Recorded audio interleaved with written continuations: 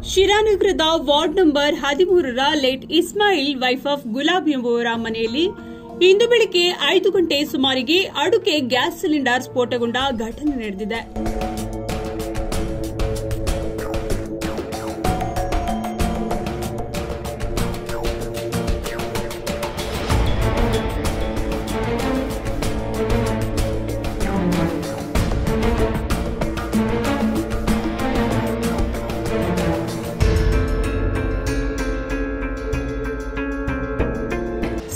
ಸ್ಫೋಟದ ತೀವ್ರತೆಗೆ ಮನೆಯ ನಾಲ್ಕು ಕಡೆಯ ಗೋಡೆಗಳು ಚಿತ್ರ ಚಿತ್ರವಾಗಿ ಬಿದ್ದಿರುವುದು ಎಂತಹವರನ್ನು ಭಯಭೀತಗೊಳಿಸುತ್ತದೆ.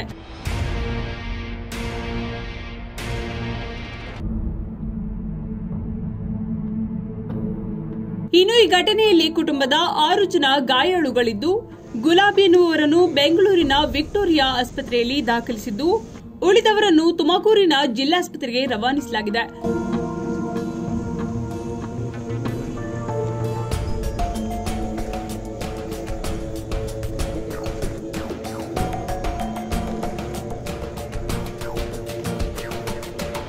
ಸ್ಥಳಕ್ಕೆ ದೆಹಲಿ ವಿಶೇಷ ಪ್ರತಿನಿಧಿ ಹಾಗೂ ಶಿರಾ ಶಾಸಕರಾದ ಟಿಬಿ ಜಯಚಂದ್ರ ಭೇಟಿ ನೀಡಿ, ಗಾಯಾಳುಗಳಿಗೆ ಸೂಕ್ತ ಚಿಕಿತ್ಸೆ ನೀಡಿ, ಘಟನೆ ಬಗ್ಗೆ ತನಿಖೆ ನಡೆಸಿ ವರದಿ ನೀಡುವಂತೆ ಪೊಲೀಸರಿಗೆ ಸೂಚಿಸಿರುವುದಾಗಿ ತಿಳಿಸಿದರು. ನನಗೆ ಬೆಳಿಗ್ಗೆ ವರ್ತಮಾನ ಬಂದ ತಕ್ಷಣ ಇಲ್ಲೇನು ಇಲ್ಲಿ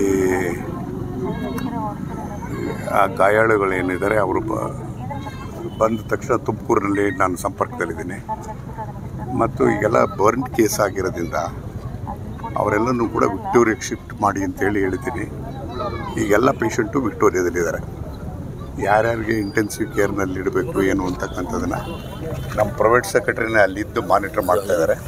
ಎಲ್ಲರೂ ಕೂಡ ಅಲ್ಲಿ ಹಾಸ್ಪಿಟಲಲ್ಲಿದ್ದಾರೆ ಅವರ ಪ್ರಾಣವನ್ನು ರಕ್ಷಣೆ ಮಾಡೋದಕ್ಕೆ ಎಲ್ಲ ರೀತಿಯಾದಂಥ ಪ್ರಯತ್ನವನ್ನು ಕೂಡ ಮಾಡ್ತೀವಿ. ಸರ್, ಅವ್ರ ಕುಟುಂಬಕ್ಕೆ ಏನಾದರೂ ಆರ್ಥಿಕವಾಗಿ ಅದನ್ನು ಆಮೇಲೆ ಆಮೇಲೆ ಯೋಚನೆ ಮಾಡೋಣ ಇದೆಲ್ಲ. ಈ ಇನ್ಸಿಡೆಂಟ್ ಆಗಿರ್ತಕ್ಕಂಥದ್ದು ಯಾವ ಹಿನ್ನೆಲೆಯಲ್ಲಿ ಆಗಿದೆ ಅಂತಕ್ಕಂಥದ್ರ ಬಗ್ಗೆ ನಾನು ನಿಖರವಾಗಿ ಹೇಳೋಕ್ಕಾಗೋದಿಲ್ಲ. ಮೇಲ್ನೋಟಕ್ಕೆ ಏನಾಗಿದೆ ಅಂತ ನಮಗೆ ಗೊತ್ತಾಗ್ತದೆ. ಅದರ ಆಂತರಿಕವಾಗಿ ಏನಾಗಿದೆ, ಯಾವ ರೀತಿಲಾಗಿದೆ ಅಂತಕ್ಕಂಥದ್ದನ್ನು ಪೊಲೀಸರು ಇದ್ದಾರೆ. ಪೊಲೀಸರು ಅದನ್ನು ವೆರಿಫೈ ಮಾಡ್ತಿದ್ದಾರೆ. ಎಸ್ ಪಿ ಅವ್ರಿಗೆ ನಾನು ಬೆಳಿಗ್ಗೆನೇ ನಾನು ನೋಡಿ ಅಂತೇಳಿ ಹೇಳಿದೆ, ಅವ್ರು ಬಂದಿದ್ದಾರೆ. ಅದೆಲ್ಲ ವಿಚಾರನೂ ಕೂಡ ಅವರು ಸೂಕ್ಷ್ಮವಾಗಿ ಪರಿಶೀಲನೆ ಮಾಡ್ತಾರೆ. ಈ ಸಂದರ್ಭದಲ್ಲಿ ನಗರಸಭೆ ಅಧ್ಯಕ್ಷೆ ಪೂಜಾ ಪಿದ್ದರಾಜು ನಗರಸಭಾ ಸದಸ್ಯರುಗಳು ಹಾಗೂ ಪೊಲೀಸ್ ಸಿಬ್ಬಂದಿ ಉಪಸ್ಥಿತರಿದ್ದರು. ಬೆಳಿಗ್ಗೆ ಐದೂವರೆ ಟೈಮ್ಗೆ ಅವ್ರು ನಮಾಜ್ ಗೆದ್ದಾಗ ಈ ಥರ ಘಟನೆ ಆಗಿದೆ. ಇದು ಸಿಲಿಂಡರ್ ಸ್ಫೋಟ ಆಗಿದೆ ಅಥವಾ ಬೇರೆದಾಗಿದೆ ಇನ್ವೆಸ್ಟಿಗೇಷನ್ ಮುಖಾಂತರ ತಿಳಿಬೇಕಾಗಿದೆ.